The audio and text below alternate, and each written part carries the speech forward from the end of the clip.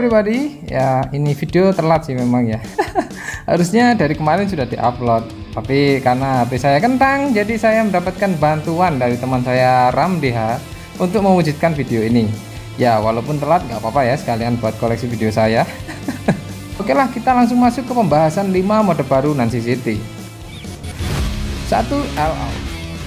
Dalam mode All Out, kalian sangat disarankan untuk menggunakan assault rifle atau submachine gun. Di mode ini, amunisi kalian tidak memiliki keterbatasan alias infinity. Tapi, kalian masih memerlukan reload untuk dua tipe senjata yang disarankan tadi. Saat bertempur menggunakan AR atau SMG, tubuh kalian akan muncul efek biru. Di sini, fire rate dan daya ledakan akan meningkat secara drastis sehingga kalian akan merasakan sensasi hujan peluru.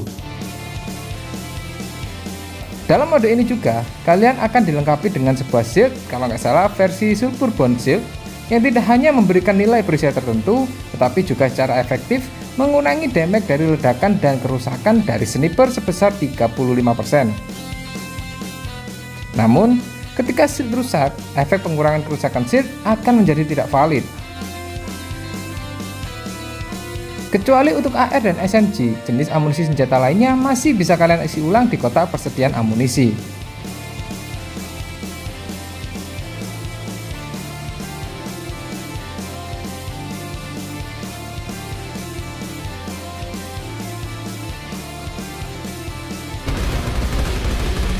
Dua, Bomb Time Dalam mode Bomb Time, kalian dapat mengambil bazooka di beberapa spot yang ada di map Nancy City dan melancarkan serangan pemboman terhadap lawan.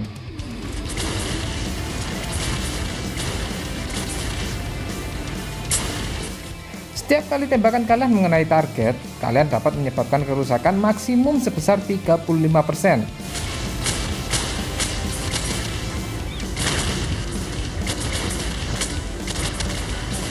Namun, kalau kalian memakai buff bonus damage explosion, buff itu tidak akan memiliki efek di map ini.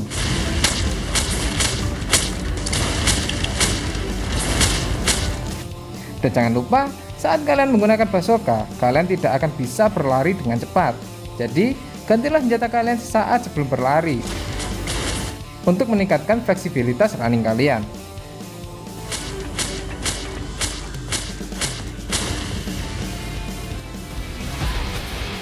Tiga Top Sniper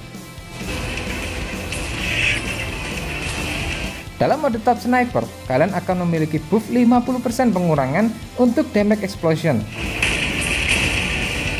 Dan ketika kalian menggunakan senapan sniper, tingkat kerusakan headshot akan meningkat tergantung dari jarak tembak kalian. Tingkat kerusakan headshot ini bisa mencapai hingga 300%.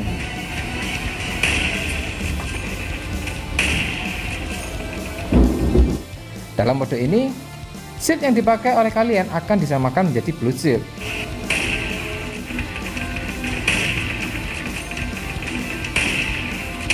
Ini dapat memberikan nilai shield tertentu dan mengurangi kerusakan dari assault rifle maupun submachine gun. Tetapi ketika shield kalian rusak, efek pengurangan kerusakan dari shield tidak akan berguna.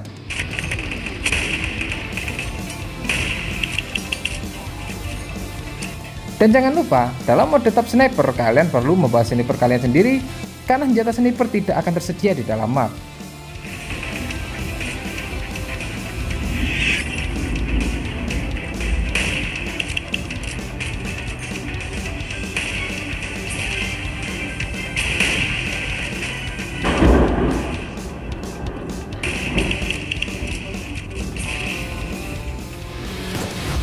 Empat, Brawl dalam mode Brawl, kalian disarankan untuk menggunakan senjata jarak dekat atau melee weapon.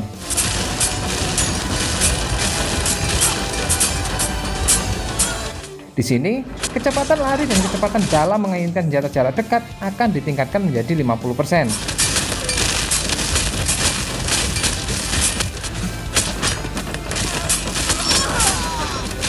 Kalian juga dapat memblokir peluru sambil memegang melee weapon.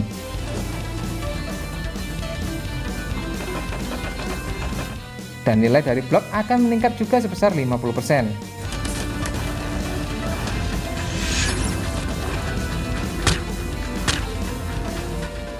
Setelah memukul musuh tiga kali dengan senjata melee, efek khusus merah akan muncul pada tubuh kalian. Ini tandanya bahwa serangan keempat akan memicu efek knockdown. Dan ini akan membuat musuh tidak dapat meluncurkan serangan dalam waktu dekat.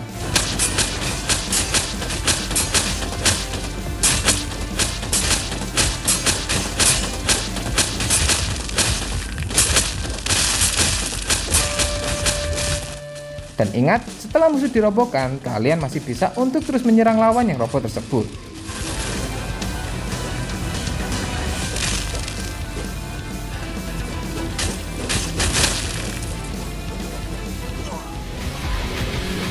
Lima Jet Fight Dalam mode Jet Fight, Nancy City akan memberikan paket jetpack kepada semua pemain.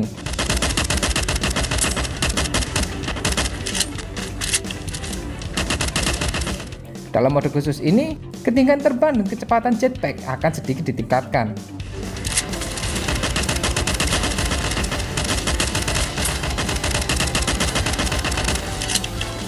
Kalian dapat menggunakan jetpack dalam setiap lompatan.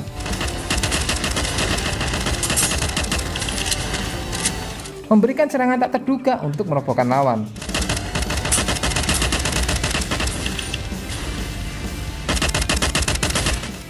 Dan kalian dapat menghindari serangan dari pemain lain dengan bergerak di udara.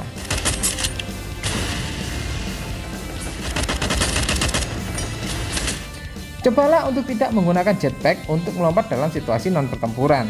Takutnya, kalau-kalau jetpack kalian tidak memiliki gas yang mencukupi ketika terjadi serangan kejutan.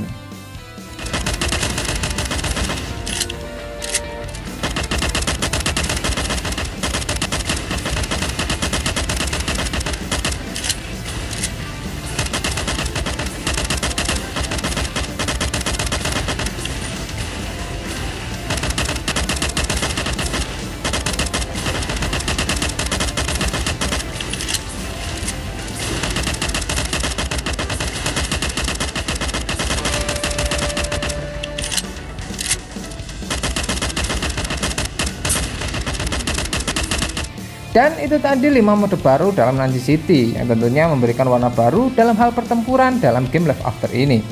Dan tentunya kalian masih bisa menggunakan senjata di luar senjata-senjata yang disarankan tadi. Cuman beberapa senjata yang disarankan akan memberikan efek khusus ketika dipakai pada mode yang disarankan. Oh ya, setiap hari kalian juga akan memiliki dua tugas latihan khusus yang tersedia pada mode baru Nancy City, yang pastinya setiap hari akan berubah modenya dan juga kalian masih dapat menyelesaikan tugas dalam mode normal. Seperti tugas latihan jadwal Nancy seperti biasanya. Setelah kalian berhasil menyelesaikan tugas latihan khusus kalian akan mendapatkan medali dan sejumlah experience. Medali dapat ditukar dengan berbagai hadiah langka di Acer atau NPC sebelah heli. Oke itu tadi 5 mode baru Nancy City. Sampai jumpa di video berikutnya dan bye bye